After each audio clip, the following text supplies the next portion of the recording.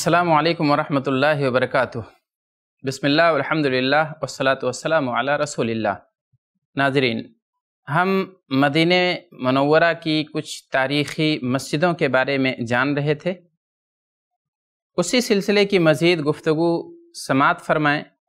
अब हम देखते हैं मस्जिद क़िबलतैन। मस्जिद क़िबलतैन, इसका एक नाम मस्जिद बनु सलमा भी है। ये मस्जिद मस्जिद नबवी के शिमाल मगरिब में तकरीबन पाँच किलोमीटर के फासले पर वाक़ है। नाम और तारीख़ी वाक़ नाम जैसा कि आपने सुना कि कबीले खजरत से ताल्लुक़ रखने वाले कबीले बनु सलमा में ये मस्जिद थी।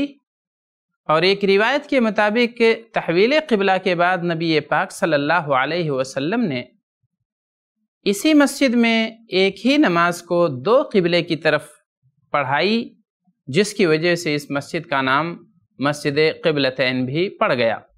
तामीरी और तारीख़ी झलक। उमर बिन अब्दुल अज़ीज़ रहमहुल्लाह के अहद में नए सिरे से इस मस्जिद की तामीर अमल में आई।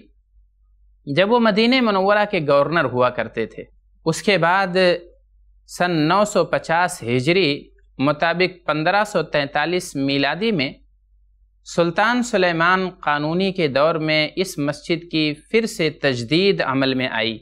इसके बाद सन 1408 हिजरी मुताबिक उन्नीस सौ मीलादी में खादिमरमैन शरीफ़ैन मलिक फ़हद के दौर में दोबारा इसकी तामीर अमल में आई।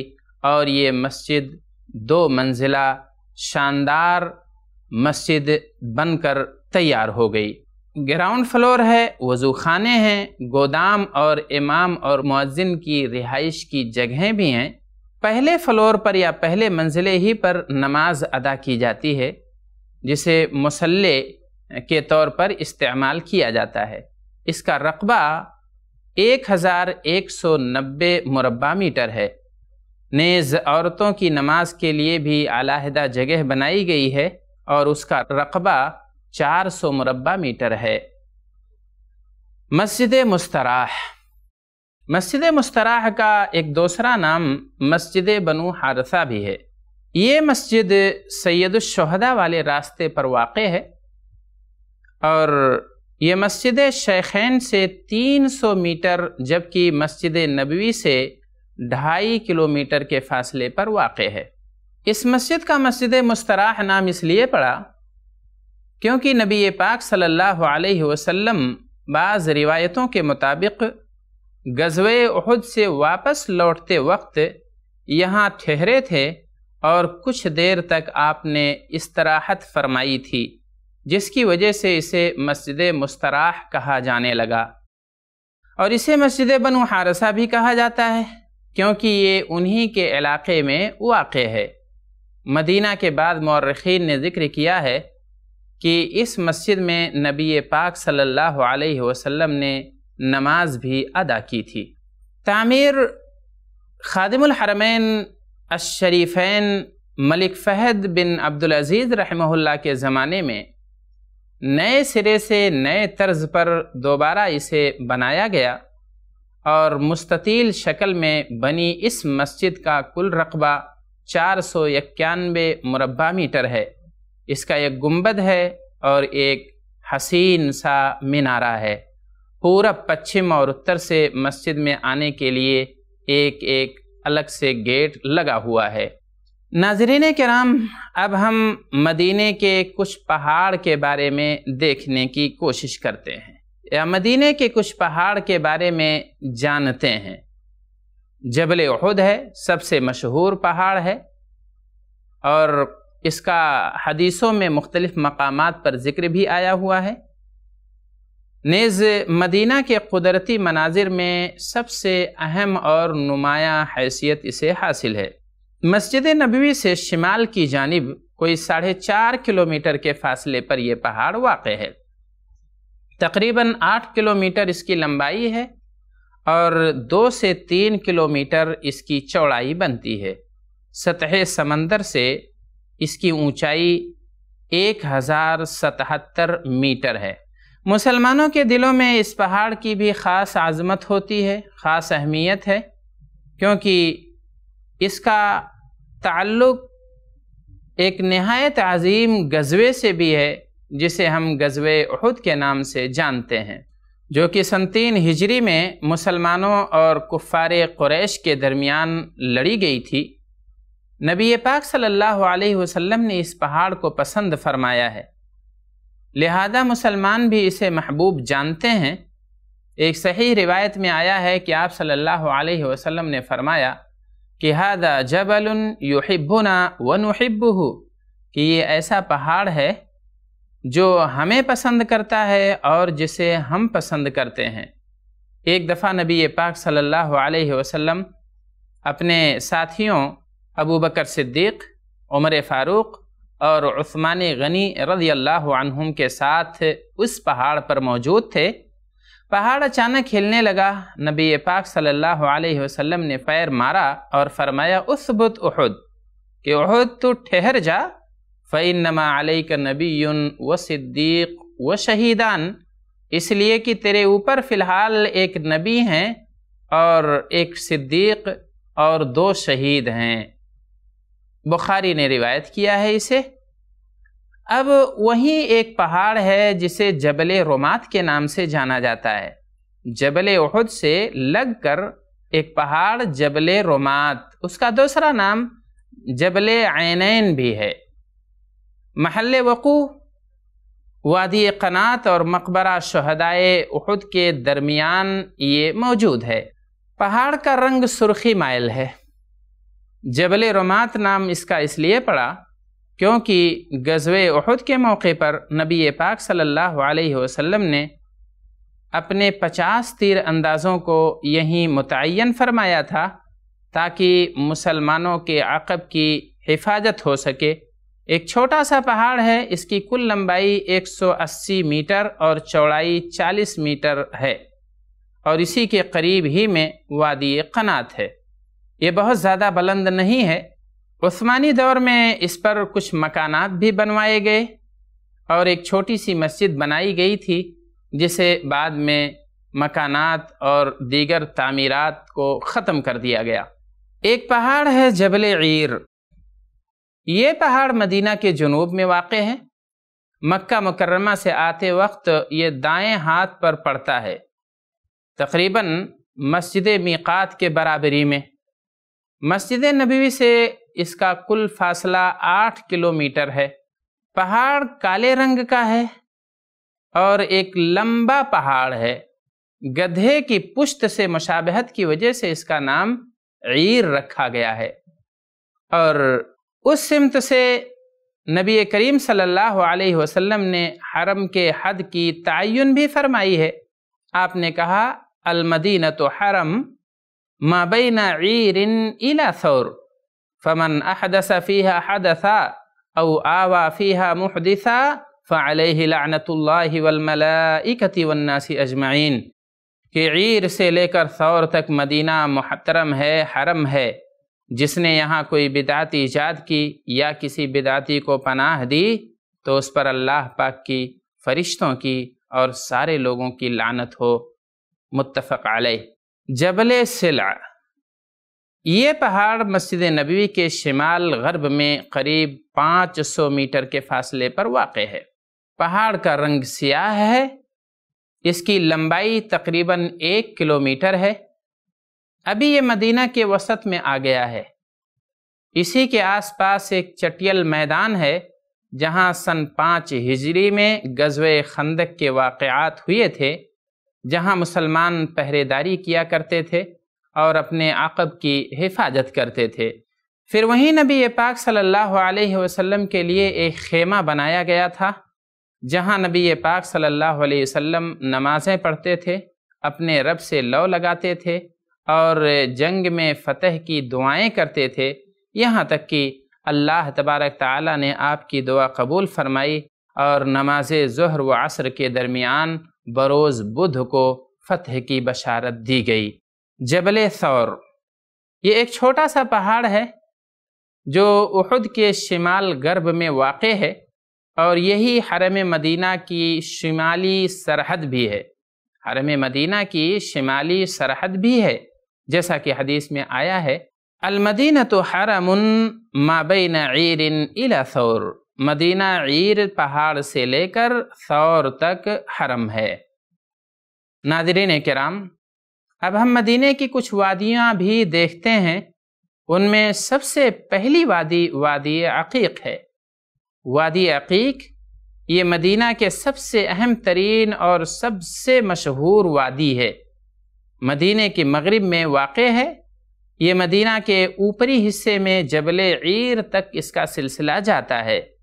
फिर जबल ईर के शिमाल में चली जाती है हती कि बरका के करीब वादी बतहान से जाकर मिल जाती है।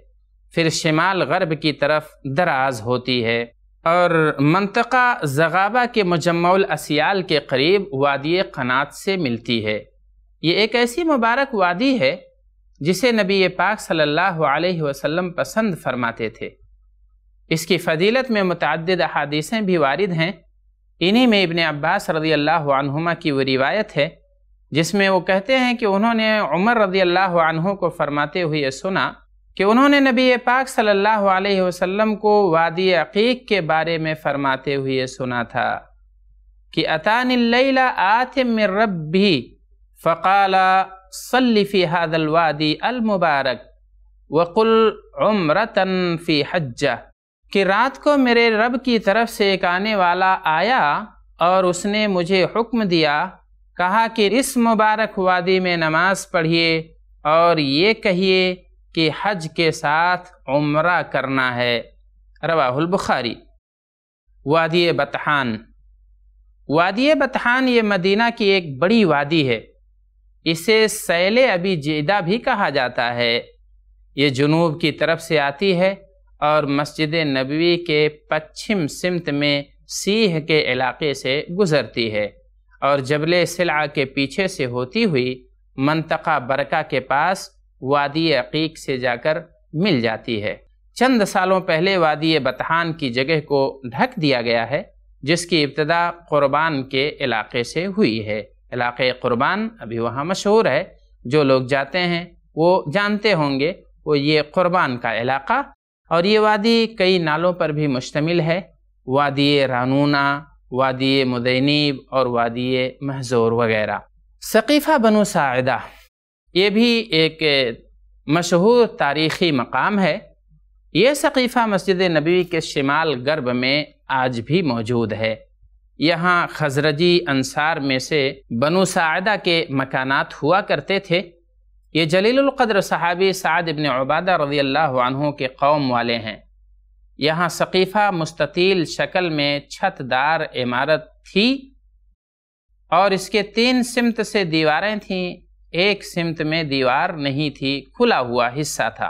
इस सकीफ़ा को शहरत बहुत ज़्यादा इसलिए भी मिली कि नबी पाक सल्लल्लाहु अलैहि वसल्लम की वफ़ात के बाद सहाब कराम यहीं जमा हुए थे और यहीं अबू बकर सिद्दीक़ रज़ी अल्लाह के हाथों पर बैत हुई थी। बाद में इस सकीफ़ा को इमारत की शक्ल दे दी गई और मुख्तलिफ़ ज़मानों में इसकी शक्ल बदलती भी रही। सबसे आखिर में इसे एक बागीचे की शक्ल में शक्ल दे दी गई, जो कि आज भी मस्जिद नबवी की आखिरी तोसी के मगरबी हिस्से के फ़ौर बाद आती है और वहीं पर अब भी इसी शक्ल में मौजूद है। नादरीन कराम, मदीना मनवरा के हर रात देखते हैं। हर रात, यानी पथरीली इलाके। मदीना मनवरा पूरब और पश्चिम की जानब से काफ़ी दूर तक सियाह बरकानी चट्टानों से घिरा हुआ है। ये चट्टानें जुनूब की जानब एक दूसरे से मिल जाती हैं। इस तरीके से होती हुई जुनूब के सिमत में एक दूसरे से मिल जाती हैं। नेज़ ये चट्टानें मदीना के लिए तीनों मस्कूरा जिहाद से कुदरती पनाहगाह भी तस्वुर की जाती है। इन्हें हर रात कहा जाता है, लिहाजा इनकी भी थोड़ी सी मालूम आप हजरात को देना ज़रूरी है। ये पहला हर्रा उसे हर्र वाकिम कहा जाता है। हर्रा शर्किया भी कहते हैं इसे, यानी जो मशरक़ी हर्रा है, उसे हर्रा वाकिम कहते हैं। ये मदीना के पूरब में फैला हुआ है और एक शख्स की तरफ़ ये मंसूब है। ये भी कहा जाता है कि अमालका की एक जमात है, उसी की तरफ़ इसे मंसूब करके हर्रा वाकिम कहा जाता है।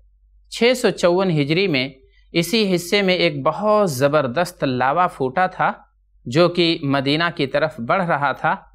फिर अल्लाह तबारक ताला ने इसका रुख दूसरी जानब फेर दिया। फ़िलहाल इसे हमवार करके यहाँ नए रिहायशी मकानात बना दिए गए हैं। दूसरा मशहूर हर्रा हर्रा वबरा है। हर्रा वबरा इसे हर्रा गरबिया भी कहा जाता है, क्योंकि ये मगरबी सिमत में वाक़ है। ये शिमाल में मस्जिद क़बलतैन से शुरू होकर जुनूब में मस्जिद क़ुबा के बराबर तक जाता है। इसका अक्सर हिस्सा खजूर के बागात से घिरा हुआ है। इसी के रकबे में सनीतुलवदा भी है।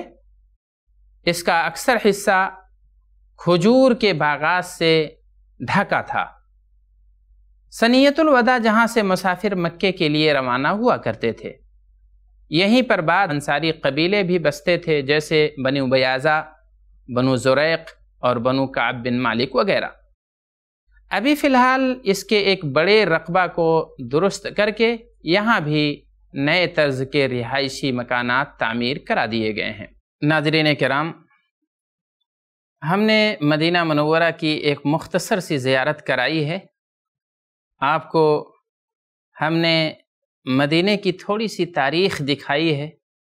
उसके बाद हिजरत नबविया सल्लल्लाहु अलैहि वसल्लम बयान किया।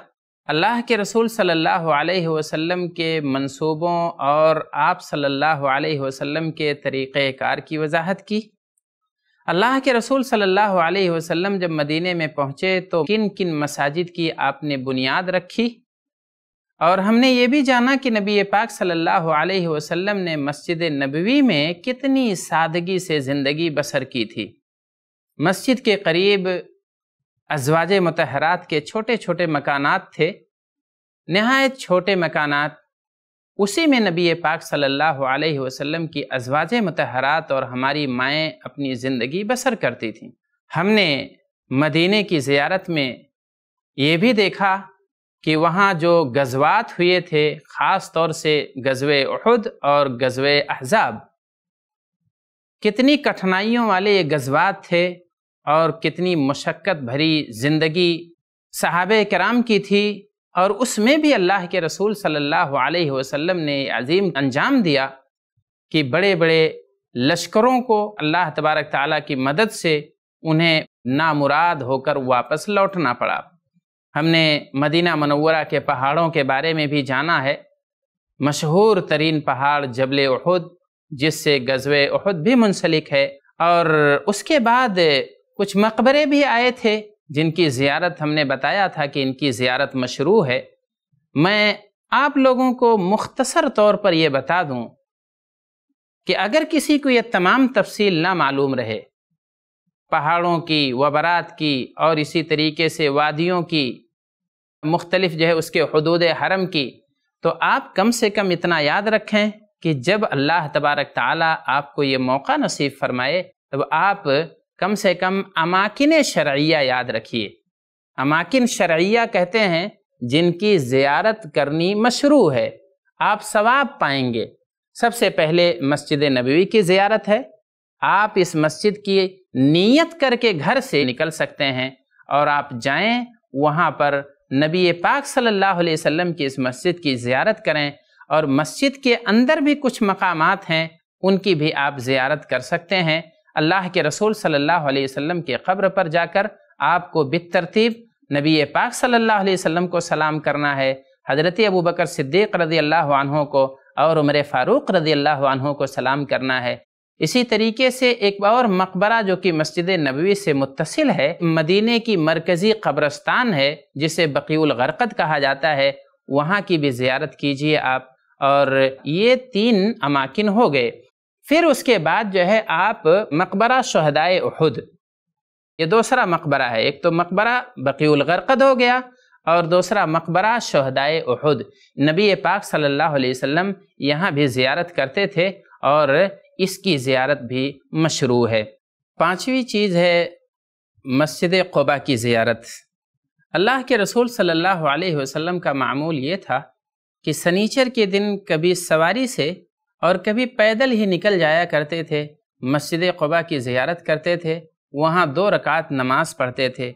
इसकी फजीलत यह है कि अगर कोई आदमी वहाँ जाकर दो रकात नमाज़ अदा करता है तो उसे एक उम्र का सवाब हासिल होता है।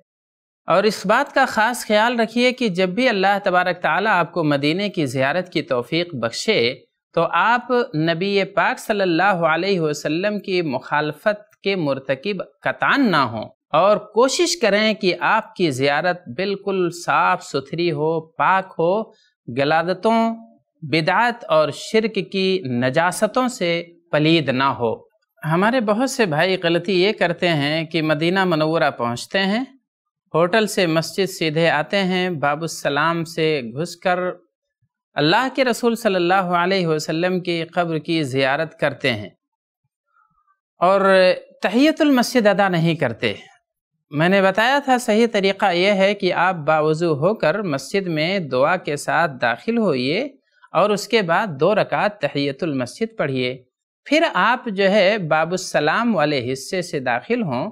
आपके बाएँ जानिब हजर आयशा रदी अल्लाह मिलेगा और वहाँ पहली कबर नबी पाक सल्लल्लाहु अलैहि वसल्लम की होगी। वहाँ आप सलाम करें अल्लाह के रसूल सल्लल्लाहु अलैहि वसल्लम को, फिर अबू बकर सिद्दीक़ रदी अल्लाह को।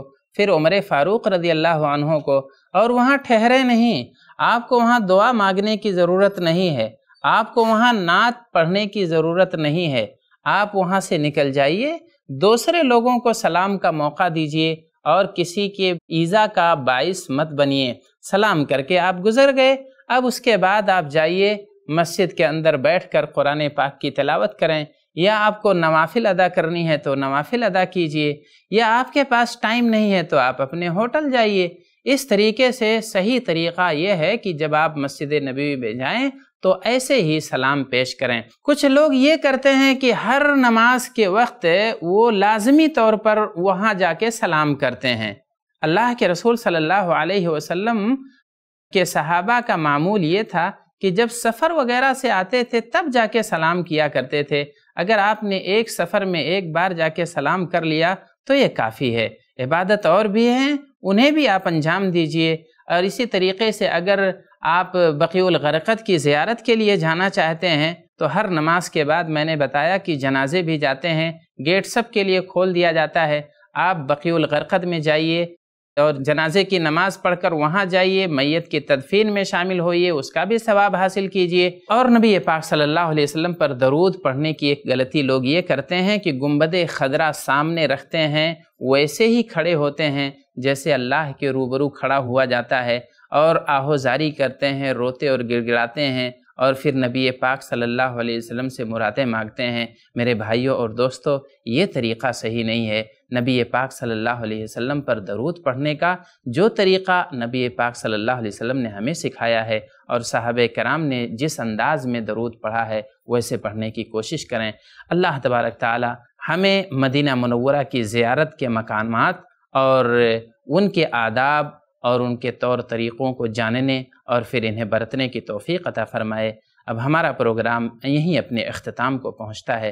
अल्लाह तबारक ताली हमारे हर सफ़र और हमारी हर इबादत को कबूल फ़रमाए और शिरक बिदा से उसे पाक रखे। आमीन। असलकम वरहमल वर्क ऐसे ही और वीडियोस बनाने में हमारी मदद करें।